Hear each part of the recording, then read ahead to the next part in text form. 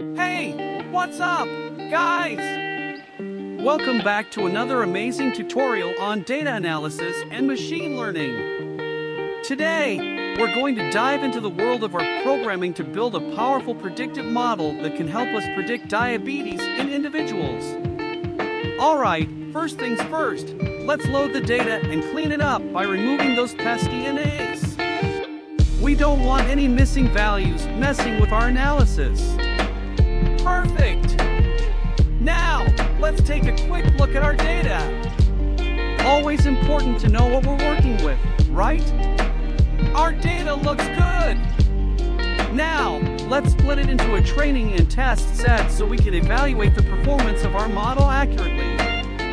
Next, we're going to define our base model and intercept only model.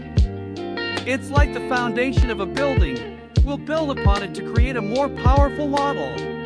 Here comes the exciting part, stepwise logistic regression.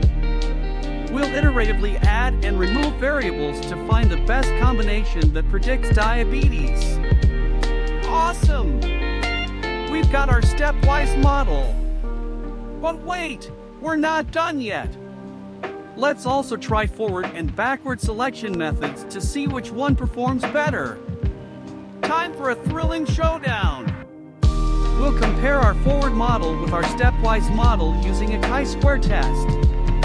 And now, the ultimate battle AIC values.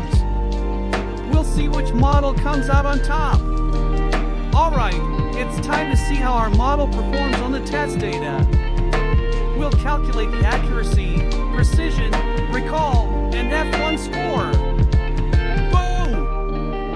you have it, guys! Our both direction model is a beast.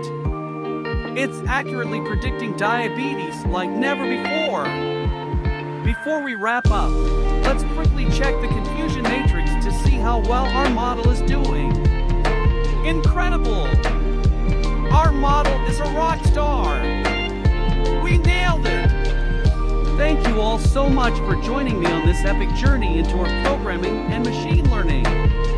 If you enjoyed this video, smash that like button, subscribe to the channel, and hit the bell icon to get notified when we drop more awesome tutorials like this. Stay curious, keep learning, and remember you have the power to make a difference. Until next time, take care and stay awesome!